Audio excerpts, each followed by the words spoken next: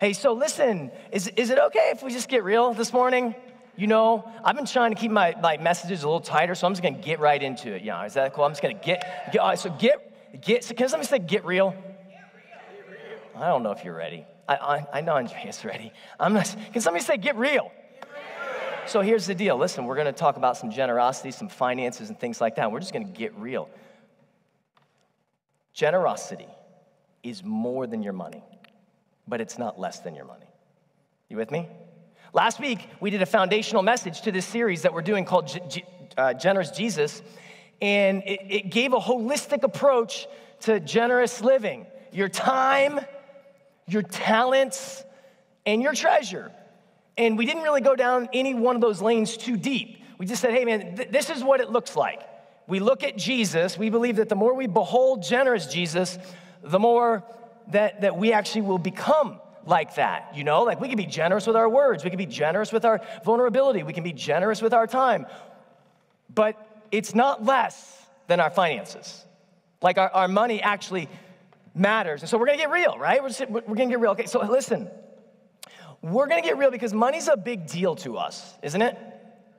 I mean, it's a big deal. It affects relationships, it affects your mood. If, like right now, if on your phone your money app said that um, uh, radical fraud has occurred to your bank account and there's nothing left until you do something about it, you'd be gone. You'd be like, I'll catch this, you know, online. I got to go take care of it. If you had incredible financial gain, all of a sudden you'd be like, yeah, let's go. This is amazing. It affects marriages and relations, we got Jerry and Liz over here who, who lead our relational harmony. I mean, is it true that, that money is, is a big, big factor? And absolutely, like we gotta, we gotta get on the same page. Like money has weight um, in our lives. You see, money's really a big deal to Jesus too. Did you know that? You see, because we're a big deal to Jesus, so what's a big deal to us is a big deal to Jesus. And because money affects us, so deeply, Jesus taught about it a lot.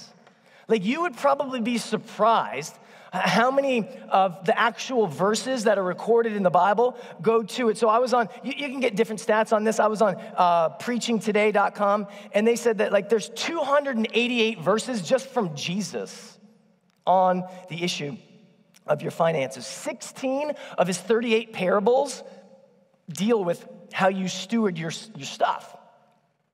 It's, it's such a big deal to him that, that he gets real. Somebody say, get real. He gets real with this. Check this verse out. He, he basically says this. I'm going to give you a prelude to it. Can we get that verse, please? Here's the prelude. You can either be about stuff or God. That's what life comes down to. You've got two choices. We'll use Jesus' words, they're much better. No one can serve two masters. Either he will hate the one and love the other, or he'll be devoted to the one and despise the other. You cannot serve God and money. You just can't do it. Y'all know this, right? I mean, how many of you think you're a really good multitasker? Now, listen, I know it's Mother's Day coming up, and I know mothers, like days, plural, are full of multitasking, right? But you're usually at your best when you're fully present with the task at hand. True? Jesus was way ahead of this. He knew this. He's like, you can either be about God or stuff, period. That's, that's your life choice. And so, if we're gonna get real this morning, we're just gonna get after it. What do you wanna be about? God or stuff? Like, better phrased, what's your greater yes? What's your greater yes when it comes to God or stuff because Jesus really only gives us those two options. So, listen, today I'm going to introduce you to uh, uh, somewhat of what I would consider a secret weapon to helping you um, get to your greater yes. Because I'm just imagining, I'm taking a wild guess that most of you here this morning, or if you're listening online, what's up, online people? Good to see you. Even if you're listening on like a Thursday evening, hey, hey what's up? Thanks for checking us out. Um, you probably want to be about God. You probably don't want to come to the end of your life and be like known for, man, this woman was an amazing gatherer of stuff. Most of us are probably not after that. What an amazing dad. He gave me a lot of stuff. It's probably not what you want to be about. So I'm just guessing that your greater yes, if you're only given two options, which according to Jesus, that's it, is, is I'd rather be I'd rather be about God. I'd rather I'd rather be chasing after God than than stuff. So today, I think I got a secret. I, in our family, we don't we try not to keep secrets. We're like, no, no secrets. So maybe I should call it a surprise. That's what we do. We got a surprise. Don't tell your mom. We got a surprise weapon in helping you with your greater yes. You guys want to hear about it? All right, all right, here we go. First of all, let's do let's do a couple things. Let's lay a foundation. Let's talk about the formula, and then we're going to spend hopefully a lot, well, most of our time, if I do this well enough, on the first step. On the first step there, because we've already laid the foundation. We've already talked about the formula. That was last week. Was anybody here last week? Anybody here? Okay, if you weren't here last week, please go back and listen to last week. It lays a foundation uh, for, for what, we're, what we're trying to do here. And, and so last week we talked about our foundation being Generous Jesus, the name of uh, the series.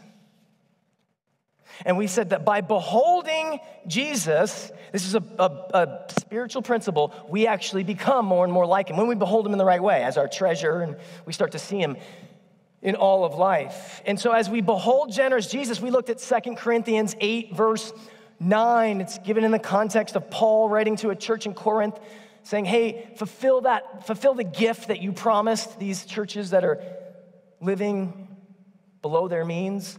Like, help them. You said you were going to help them. And then he uses this as motivation. This is our foundation for, for generous living. It's Jesus. And it says this that, that Jesus, although he was rich because he was with the Father, before he put on human clothes, he was crazy rich because you can't compare the spiritual blessings of unending fellowship with the Father with anything you can get here. Plus, the scriptures tell us he's the creator and sustainer. He owns it all. He was crazy rich. What did he do with his riches? Yet for your sake, he became poor. So he put on humanity, lived among us, was sinless, but was surrounded by sin so much so that when he went to the cross, he then owned our sin. It was as if Christ lusted after other women when he was married. It was as if Christ was abusive. It was as if Christ went back out in his addiction. It was as if Christ, fill in the blank, whatever, whatever defines you. Jesus is like, that, that's mine. Father, crush me so you don't have to crush them. That's where his poverty led him. But we know that on the third day, it was just a borrowed grave. It was a, it was a means to an end. And so we're not just people of the cross, we're people of the resurrection, which says because Christ overcame and paid for our sins completely, we now get to join him in overcoming sin, being forgiven and given a new life if we simply believe and receive his work on our behalf. That's the gospel message that you come as you are, but God never leaves you as he found you. We become rich like Christ we inherit all the spiritual blessings that Christ had and has. That's our foundation for generosity. Tim Keller, in his message Radical Generosity, says if, if you want to like know how you should give in the New Testament, it's according to the gospel. That's our litmus for how we should give. All right, well, what's the formula? The formula is laying up treasures. Jesus tells us in, in Matthew 6 that we are to be about, as his people, treasure hunting and gathering. And so he has no problem with treasure. He's just all about location, location, location. Make sure that your treasure is in a place where it's actually safe and meaningful and will do something for you. Don't spend yourself trying to gather stuff here where moth and rust and time and ourselves destroy it. Make sure you lay it up in a place that matters and is safe. And then he goes on to say this. He says, Now check this out. where your treasure is, that's where your heart's gonna be also. Jesus knew me. He knew me. I love stuff and what stuff does for me. And if left to my own devices, I will chase after stuff. I mean, you might not think, oh, well, like he's a money grubbing, blah, blah, blah. But I love the comfort that stuff brings, and so I'll get just enough stuff to get my comfort, but make sure that like I like I look good in your eyes too. Like that's that's my heart. My heart's like one of, one of my daughter's favorite stuff. She loves slime. I have a seven year old daughter. She loves, like, literally, you buy slime. She knows how to make it from YouTube. She's like, I don't, she, she's like, you know, you could, there's gonna be like some sort of like YouTube about her or something. She's got glue, activator, baking powder, and shampoo. And she's like, I don't know what kind of racket she's running, but then all of a sudden, it's like, slush like, here, face. Oh, isn't that satisfying, Daddy? And it's like, the problem is right now, slime's outlawed in my house. You know why? Because my wife's like, you can't handle it. It ends up getting everywhere. That's, that's my heart. I can't handle it. I cannot handle my heart. It is slimy and gets everywhere. And so Jesus is like, I got you. Just make sure your treasure's in the right place because your heart will follow. Quit trying to think your heart's in the right place. Get your treasure in the right place because your heart's going to heart's going to follow. Well, I'm doing okay. We're on first steps. All right, all right, first steps. First steps is what we're looking at today as being a, a first fruits mentality.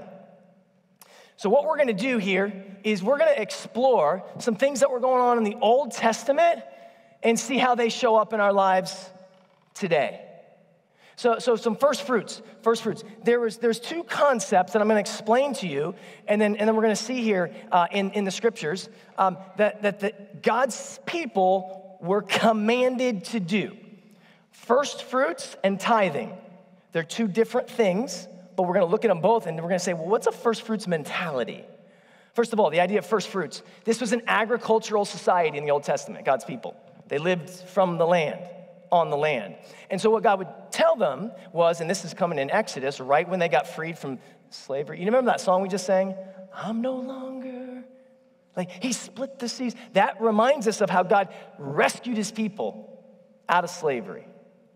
And as they're coming in to the promised land in Exodus, this is, this is, he's like, listen, you've exited one thing, and I'm gonna set you up to succeed in this new life. But here's what I want you to do I, I want you to, to give me the first fruits of the ground that, that your crops produce. So, whether it was like animals and sheep and things like that, or it was actual fruit, or it was actual grain, whatever, um, as it starts to come in, I want you at the very onset to come and give me a portion of what comes in. It's gonna, it's gonna like keep you tied to me. It's gonna remind you that it all belongs to me and, and that, that I'm good and that you can trust me. You don't, I don't need the whole thing. I just, I want a portion of the first fruits that, that come in uh, because that's to actually help to set your heart in the right space. All right. The second thing, if we can see the next verse, please. Honor the Lord. Um, no, go back one more. Yeah, perfect. Honor the Lord with your wealth, okay? All the stuff they had. And with the first fruits of all your produce. Okay, so, so here we see this, the same principle at play that, that what you do first with your money matters. Now we get to tithing. Let's see the second one. Next one. Yeah, perfect. Every tithe, which means 10%, every tithe of the land, okay, they're still an agricultural culture, that, that's, that's how they made their living, whether of the seed of the land or the fruit of the trees, is the Lord's. It is holy, which means set apart to the Lord. So we've got two different things happening here. We've got the first fruits that's like, oh my goodness, my crop is starting to grow. I'm gonna bring in the produce and the, and the proceeds that come from this. I'm gonna bring a portion of it into the Lord. And then we have the second concept of tithing, which is like all of your stuff. God says, bring in 10% of all of your stuff so that you can remember. Like, I'm, I'm your God. I brought you out of slavery. I, I've given you all this. You used to be in chains, bro, remember? And now you're living in somebody else's land. I took care of you. And what I want you to do is I want you to trust me with, with a little bit of it. You, I, you, don't, you don't need to give me 50%. You don't need to give me 100 I want you to trust me because we've got a relationship going on here with 10%. And, I, and, and actually, I actually like you to begin trusting me first and then setting life accordingly after. And that's what we're looking at today is a first fruits mentality. Here's what it is is devoting to God first a tithe, 10% of all that comes in financially. So, we all have different jobs. We all make different amounts of money. We're all in different seasons of life. But the logic here, because I'm talking a little bit about logic logistics, and then we're gonna go, we're gonna, we're gonna push even a little further. The logic of this is this. Like, if we could just reason for a second, if my heart, first of all, logically, you have to either believe the Bible or not. If you don't believe the Bible, then this doesn't make sense. So that's cool. But we still love you. Keep exploring with us. But if you believe the Bible is God's word, then you have to believe that wherever my treasure is, what's going to follow it? My, my heart. Okay? Because it's like that's just logically what Jesus says. So, logically, when we think about a first fruits mentality, okay, we take the idea of first fruits at the beginning. I'm gonna start off this way. How much? What should I do? Well, I'll use the concept of the tithe that God taught his people in the Old Testament to be my guide here. Well, so I'm gonna first start off with like, like it all belongs to you and I wanna honor you in it, and, and this is the amount that I'm gonna bring in 10% of what I make. It's gonna be my first step towards logically securing my heart in a good spot. Now, is it true that if you tithe, your heart can still be slimy? Yes. The Pharisees were great at this, right? Like you can still get this right and get it all wrong. Understand that this isn't like a foolproof thing, but I believe that this is certainly a secret and even a surprise weapon that we don't talk about enough in the church that will actually help move you in a much healthier place than you've ever been when it comes to seeing your heart in the right spot. First fruits mentality. Take care of your treasure, your heart will follow. All right, well, if that's the logic uh, behind it, tell me something different, because I'm not, you know, like I'm not usually the most logical guy, right? If you know me, I'm like a feeler, I'm this, I'm that, I'm just kind of trying to like, you know, you know, I'm not hopefully just kind of led all by feelings, but logic makes sense to me, but I need a little something more. Check this out.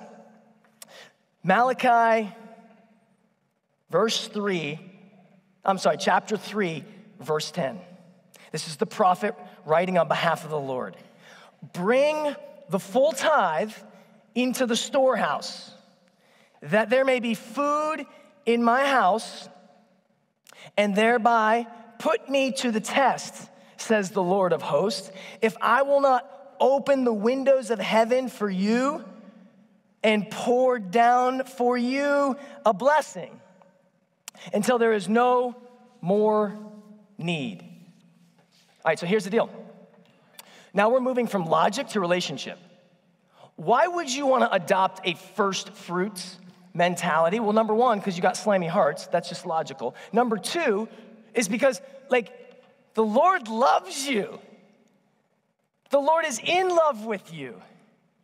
The Lord has set his best for you in Christ and clothed you with all salvation through his finished work. He has added to that the place where you live, the food that you eat, the relationships that you have. And here's what he's saying What's best for you in your life right now is that you love me most. I'm gonna tell you what's absolutely best for you in your life right now that you pursue me. And when you adopt a first fruits mentality, you actually start to experience obedience. You start to experience trust, and you start to experience that God is a God of His word. this kind of language is not like do it or else. This kind of language, he says, test me. Come on, see what I'm made of. My kids, my little guys, they're always like, what are we doing next? What are we doing next? I'm like, I just got, I pick them up from school. I'm like, how was your day? No response. Eh, fine. What are we doing? Like, what's going on? I'm like, you should ask me about how my day, how was your day? Fine. Okay, what are we doing? What are we, they always, they always want to know. And, and, and so when I don't tell them or I don't know, they get frustrated and they get kind of like upset with me and they get impatient. And, and here's, here's my invitation to them Am I not good? Do we not normally have an awesome time together? Can't you trust me? You see, I, am asking them based on the nature of our relationship to trust me with their time, which is really all they have because they, they don't have much. God is asking us uh, on the nature of who He is to bring the full tithe and watch what He does.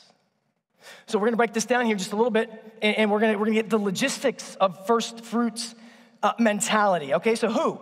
Who does the tithe go to? Well, the tithe goes first and foremost to the Lord. He says, Test me, right? So when we start thinking about 10% of all that we make going somewhere, first and foremost, we tithe unto the Lord. This is about you and God. This is, this is about you understanding and actually believing and leaning into the relationship that you are so good. I love you so much, and I want to actually respond in a tangible way to what you're asking of me. It goes to the Lord. That's our attitude about the tithe. You see, and here's what that does it relieves you from having to like be like over scrutinous about the potential church it might go to. We're gonna talk about that in a second. But you'd be like, I don't love everything that church does. They're not getting all my time. Well, it's to the Lord. That's like me saying, I don't love everything my wife does. I'm not gonna love her like Christ loves the church. Not until she fixes. I'm gonna go back, over here, Jerry and Liz. That's probably not the right attitude, right? Relationally. I got my foot on the thing. I don't know. I was like, I'm out, I'm out of line, right? It's like, I love you, Jesus. And although she may or may not be meeting some sort of like standards of expectations or what I thought it was gonna be, this is about me loving you, Jesus, through, through the way I love her. Tithing is to the Lord. Now, that doesn't mean you shouldn't like know the local church that we're going to talk about where it goes, but know the local church. What are they doing? You can look at their budget. Absolutely. I'm just saying that's not the primary place. It goes from your heart to his. Okay, so that's the who, but but what about the what? Well, Malachi says bring in the full tithe. So it's cool if we get real, right? I know John. It's cool with John. So, so this is this is the full tithe is on gross. Remember, it's a first fruits mentality. It's not like after I pay my taxes and I pay my mortgage and I pay my insurance, I'm gonna tithe on what's left. That would be like a third fruit mentality, right? If we're keeping it real.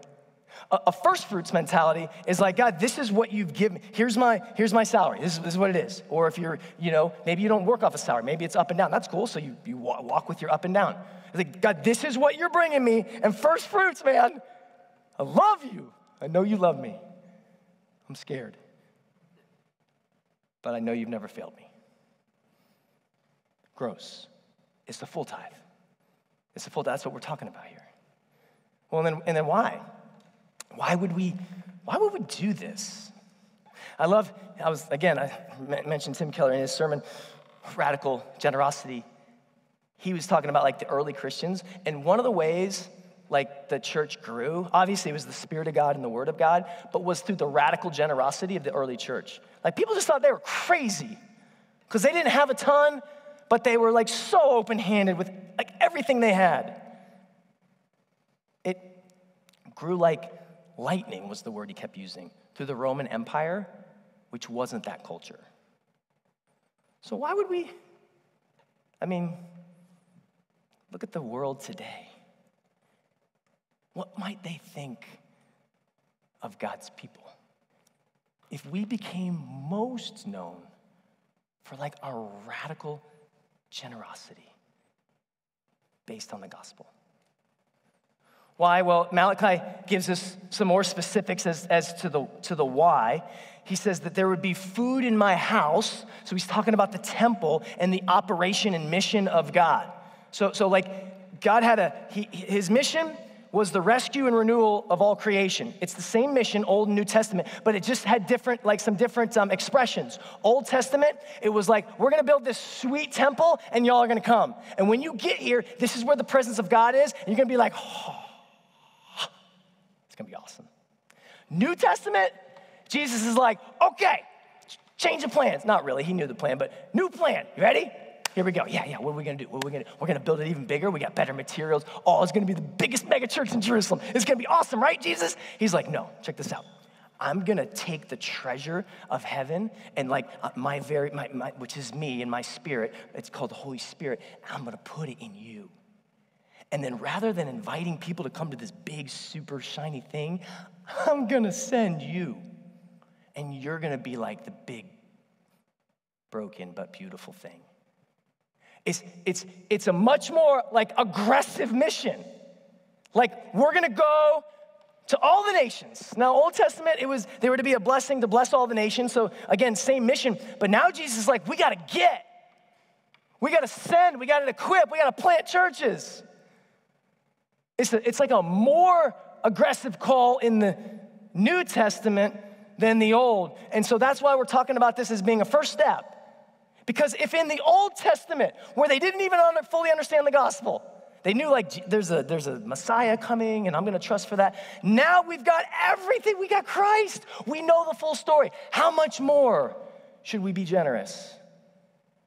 If back here it was like 10%, here, it's like that's a great first step. It's a great first step. But remember, our giving is in accordance with the gospel. It's a great first step.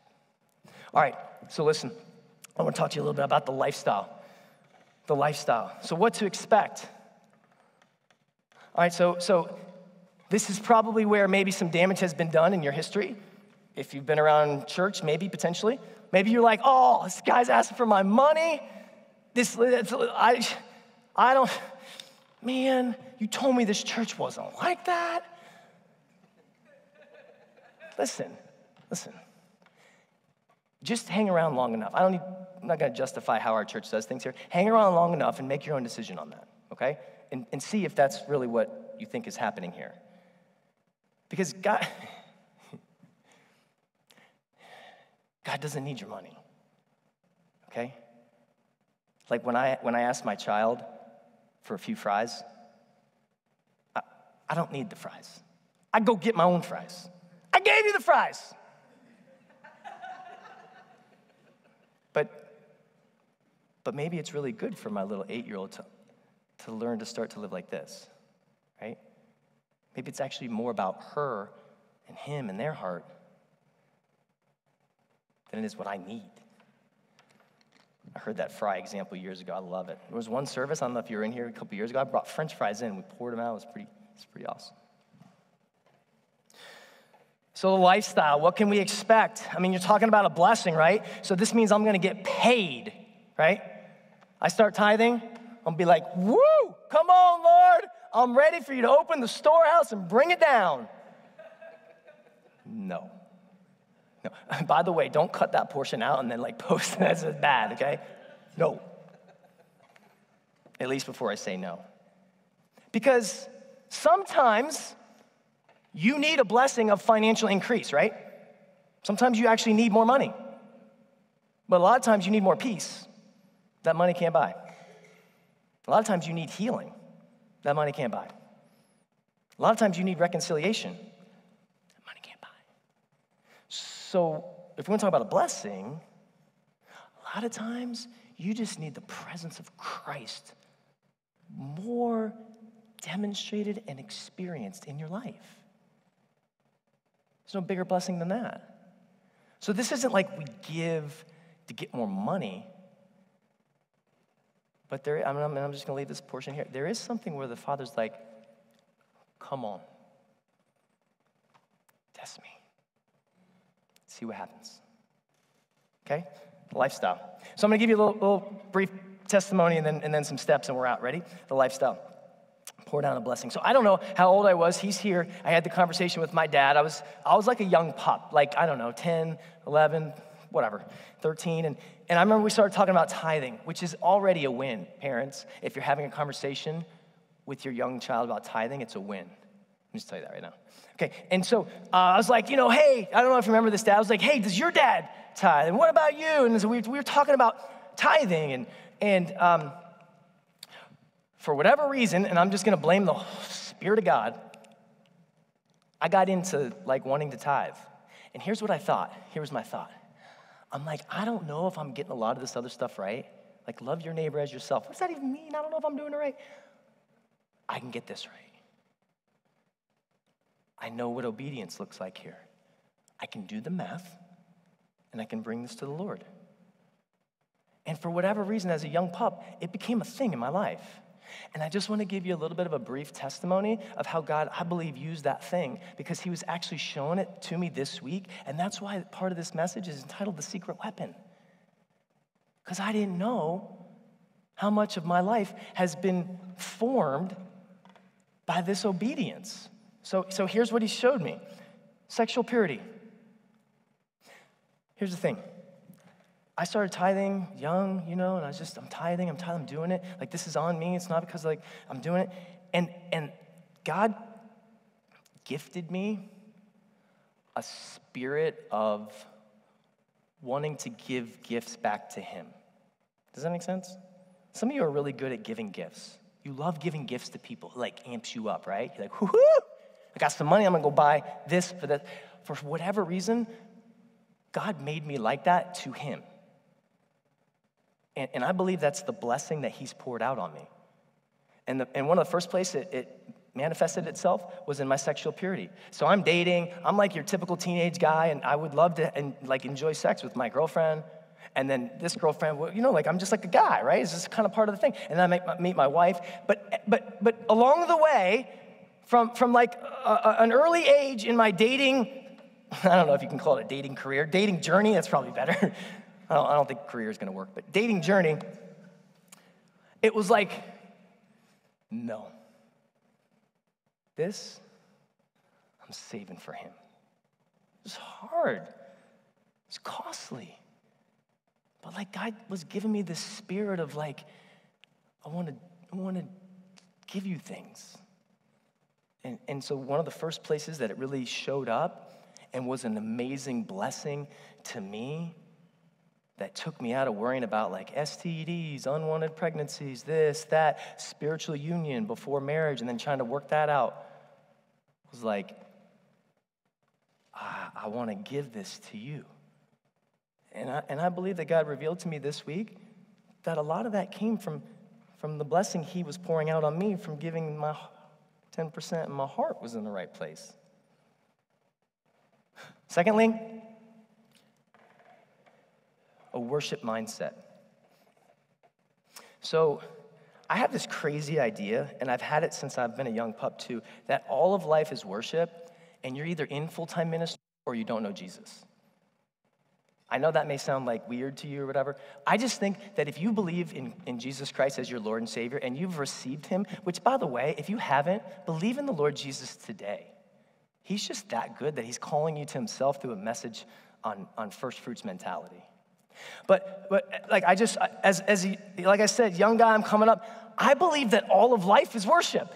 So this is a worship service, but I'm almost afraid to call it that because you think the worship service ends in about, you know, five minutes if I'm doing well. And then you go out and do something else. But God gave me this spirit that was like, I want to give you all of life. So every moment matters. The moments when we have a discussion after, me leaning in, me asking well informed questions, me praying for you, me giving you a hug, that's worship unto the Lord. Just like it is me trying to do my best to like preach the passage, just like it will be when I go home and my little guy wants to run routes. Okay, you can hit the tree and go left. All right, boom. I'm gonna hit, I'm gonna be fully present then. And then when I'm with my wife, we're like, oh my goodness, we did another day. Pound it out, baby. Whew, we're so tired. But what about you? How you doing?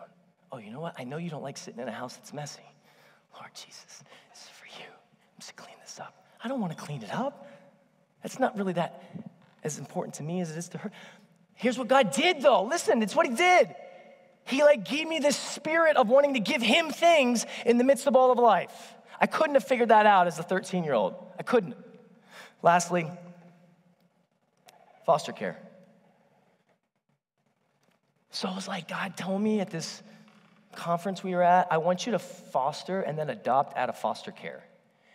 And I didn't approach that moment like, ah, now I gotta do this.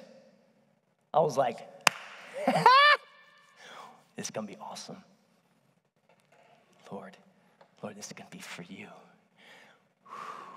It's gonna be for you. It's gonna be for you. I don't get there on my own. like, I looked, what, how can I, what do I attribute this to? The Word of God, teaching, community, all these things. But there was this thing I was doing all the time, which kept putting my heart in the right spot. The blessing for me was that God somehow made me want to give Him stuff. And it's like resulted in a lot of joy. And I think God's used it.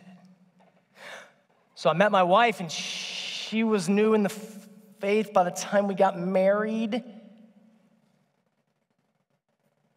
Actually met her before she was a believer. Probably should have had somebody tell me, eh, should probably pump the brakes on that one. I keep looking over at Jerry and Liz on that. Where were you, Jerry and Liz? I needed you. But God, you know, being good. So we get married. She comes to faith, and I was like, okay, move forward. She's like, wait, wait, wait, wait, wait. We're talking about 10% of everything? Are, like, that's, that's kind of like a lot of money, you know? But for me, because I had been doing it with like 10 bucks and 100 bucks and 1,000 bucks, by the time I was making like whatever like your first job makes, it was like, of course. But when, you, when you're starting from scratch, you're like, what? I don't, that's a lot. And so God did a really cool work on her, but I just think some of you might be here like, what? That's like a lot of money. All right, so this is where we end, right? First steps to your first step. Because sometimes you need to take like a first step before you take your official first step, right? Here they are. Start with the love of God. Romans 8 1 says this There is, there is now no condemnation for those who are in Christ Jesus. That's where you got to start. You want to take a first step towards first fruits mentality and tithing? This is where you got to start. There's no condemnation whether you, you, you do it or you don't. I'm not saying just kind of live how you want. I'm just saying that Christ took all the condemnation that will ever come your way. So you want to start from a place of love that drives obedience, not, well, I have to earn something from God, and so that's why I'm going to do it. Step two, define reality. What percent are you giving right now?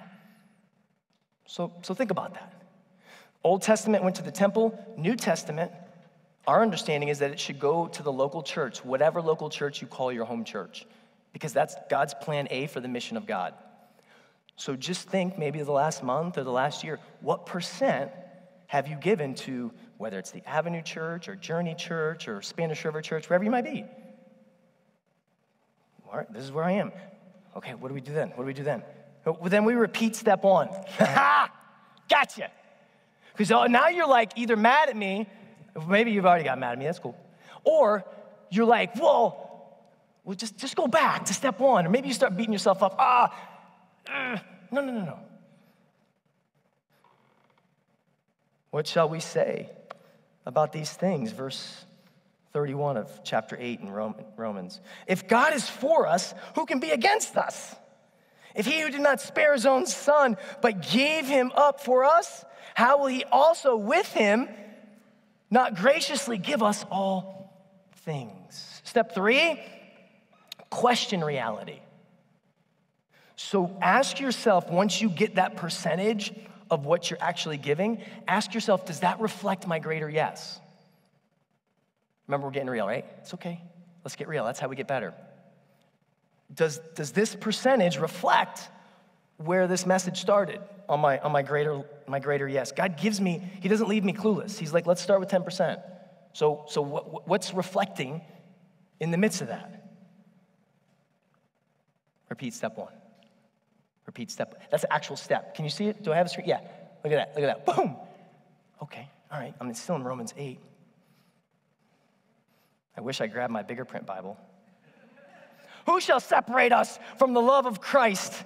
Shall tribulation or distress or persecution or famine or nakedness or danger or sword or maybe not being where you want to be in this area? It's not going to separate you. God loves you right where you are. Right where you are. No matter what emotion you're experiencing right now based on these questions, God's like, that's, if you're in Christ, He's like, that's mine. If you're not in Christ, He's like, come, come here. I Love you. Next step, I think it's step five, or I don't know, you can do the math. Change reality. Change reality. How do you change reality as it pertains to like your greater yes?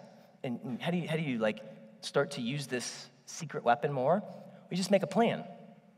So if we're if we're say right here and you're like, yeah, I'm actually I actually have a leaning towards this, like like God's grace to me is doing something to where I can see I'd like to I'd love to be a part of this. But but like I am in a situation right now where there's no way I could just go from what I give to 10%. That's cool. Make a plan. Like make a plan. You don't you don't right when you when you go like you want to shift something physically, you don't try to lose like 35 pounds in a week, right? You don't try to put muscle on like in two months. You plan it out and work towards it. So, so make a plan. So if you if you question, I'm sorry, if you defined reality and you're like, you know what, I give about 1%, okay, there's no condemnation. Well, I'm hearing 10%. I'd love to work to that. God, I'd love that. Well, what about this year? You move from 1% to like 3%. What would that be like for you? And then when it comes to change, change reality, you got to start the plan. Don't just make the plan, start the plan. And get help. We have Financial Peace University here. We've got people who would love to help you with that. Repeat step one. No, in all these things, we are more than conquerors through him who loved us. For I am sure that neither death, nor life, nor angels, rulers, things present, nor things to come, nor powers, nor height, nor debt, de- depth, not debt. That was interesting depth, nor anything in all of creation will be able to separate us from the love of God that is in Christ Jesus. Last one, wait for it. Wait for it. Wait for the blessing. You know, it's okay to expect a blessing when you start this. Here's what I want to challenge you with. If you've never done this or you want to take a step here in this, in this area, or you want to take a next step, maybe, I'd love for you to mark it down today just for you. And then, and then I would love, like in a month, to see what God did. I'd love it. It'd be awesome. It'd. Wait for it. You can't, can't multitask on this one, guys. God's got something better. Father, we ask that you would indeed come and fill us with your spirit. God, I pray that if there are those here who have never trusted you right now, by the power of your Holy Spirit, you would give them the ability to say, Jesus, today you are my greater Yes, I trust you as Savior, saving me from my sin and the penalty that I deserved. And I trust you as Lord. I surrender to you. God, help us all. You come to Him by faith in that way. Oh my goodness, salvation is yours today. God, help us all with our greater yes toward you in these things. In Christ's name, all of God's people said, Amen, amen, amen. Would you stand and we're going to be dismissed? May the Lord bless you. May the Lord keep you. May He make His face to shine upon you and give you His peace and an increased experience of His grace. Amen and amen. Love you guys.